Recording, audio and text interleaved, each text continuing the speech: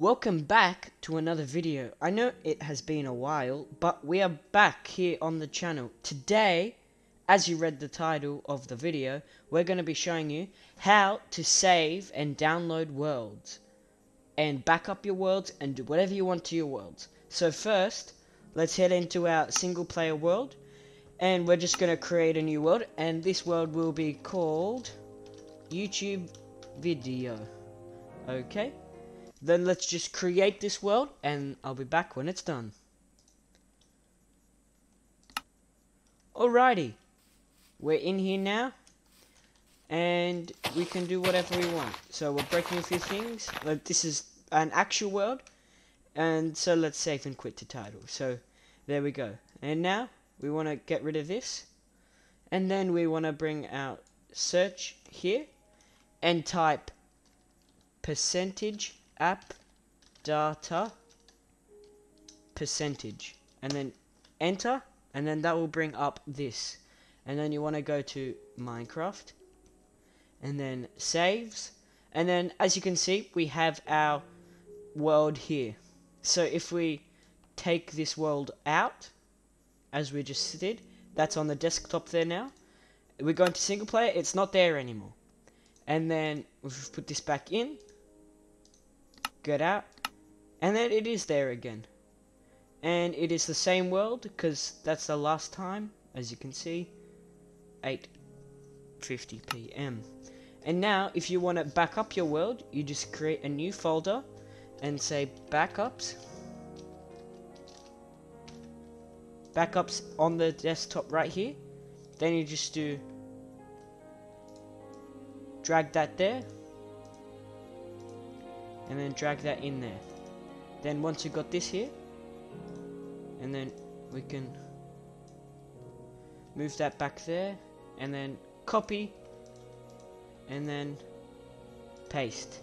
So we've copied this here and there and it's the same exact file as you can see through both of one here advancement data all of them exactly the same.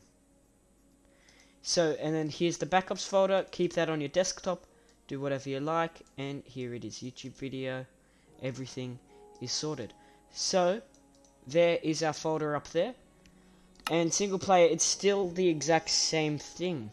So, say you go back into your world, and you update some things. So, I've updated this here,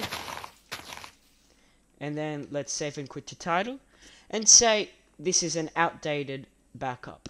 So, we just go here, and then go back to search and then do percentage app data percentage and then go back into this.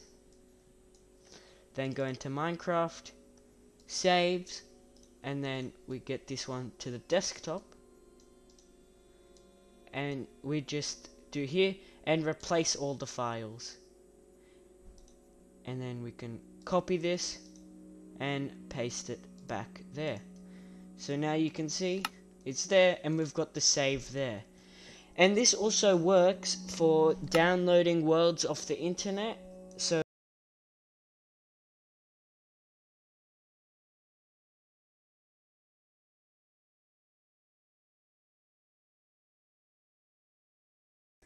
There are many world downloads websites that you can use, but I like to use this one. It's called Minecraft Maps and you can download like all of these maps and everything that you need and it's free. And here's like a little info about here and yeah. So all you have to do is just go into one of these and just go into any one of them that you like or you could search them up and then just click download here.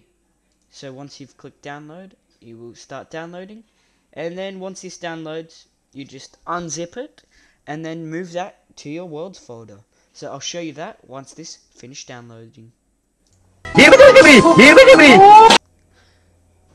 So this is finished downloading here now and let's just extract all and then extract that to the desktop.